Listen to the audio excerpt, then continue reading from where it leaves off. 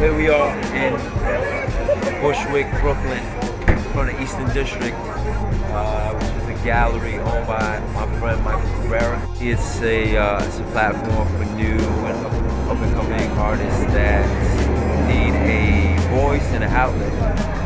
So Eastern District provides that.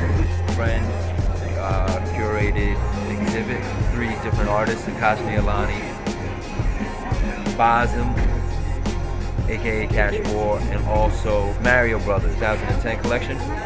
And basically, this is just the launch uh, to announce the, the, collaboration and the partnership, and it's exhibiting the work of those of the three artists. So, you know, it's just like-minded people, creative people coming together, trying to make more art and uh, different mediums. What makes Eastern District and public school work is that the, it's all coming from the same family. Friend who owns the gallery uh, is also part of the public school collaborative, and um, you know it's just emerging talent, just like-minded people coming together, trying to make more creative shit, whether it's fashion, whether it's art,